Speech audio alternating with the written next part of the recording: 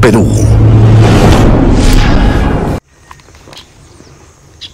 Estar en sitios arqueológicos de verdad es recoger la historia legendaria, el legado de hace 5.000 años y lo volvemos cultura porque es una gama de cosas, de sucesiones muy importante. Hoy me encuentro en un lugar histórico de la Huaca Tocaquillo. La Huaca Tocaquillo queda obviamente a inmediaciones del, del caserío de San Lorenzo de Chumba, de verdad.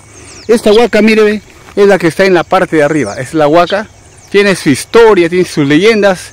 Y para la parte de allá está la huaca del cruce de, eh, de Chumba, donde se encontró eh, el, el, busto del Bravo Pacamuros. Y al pie está también el reducto más grande de obraje de los Bravos Pacamuros hace 5.000 años.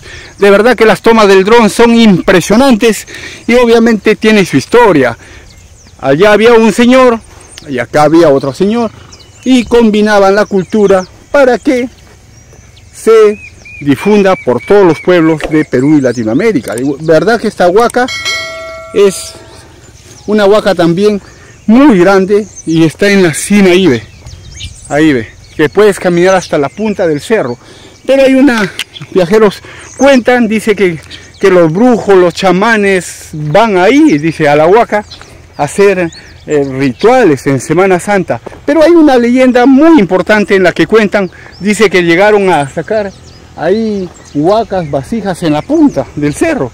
En ese momento, cuando subieron ahí, dice un grupo de personas, eso de las 12 de la noche, dice que vino una tormenta inmensa y con relámpagos, truenos, rayos, donde que tapó todo eso que está en la cima de ahí y las personas fueron poseídas, dice, fueron poseídas por la huaca y posteriormente murieron.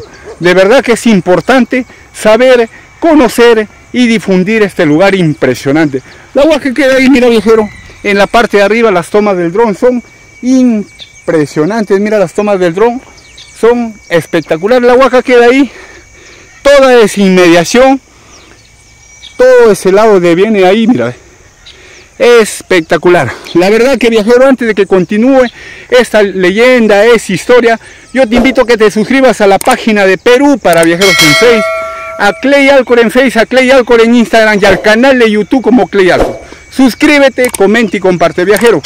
Todo este lugar estamos difundiendo donde se descubrió el verdadero rostro de los bravos pacamuros, posteriormente el reducto de obraje de los bravos pacamuros y hoy la huaca Tocaquillo. De verdad que es una huaca muy histórica, muy importante, con su leyenda, con su historia y hasta ahí las tomas de dron son impresionantes, viajero. Así que puedes venir, puedes conocer, hacer un día de camping.